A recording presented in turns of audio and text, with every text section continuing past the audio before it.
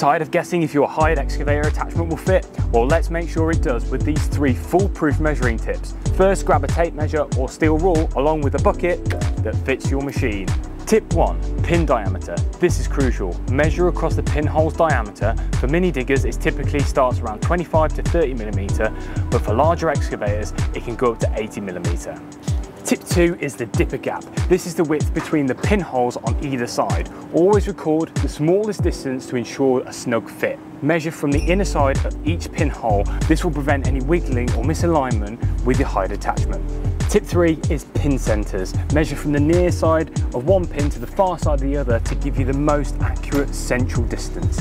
Nice and easy. So just remember, pin diameter, dipper gap, and pin centres. These three measurements will ensure your hired attachment fits your machine perfectly.